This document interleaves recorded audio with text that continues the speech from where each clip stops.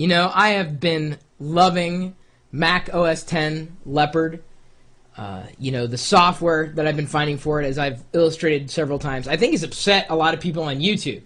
They're saying, go back to Windows, go back to Windows. Yeah, can't wait to do that. Maybe the next version of Windows, but for the time being, uh, you can keep your Vista.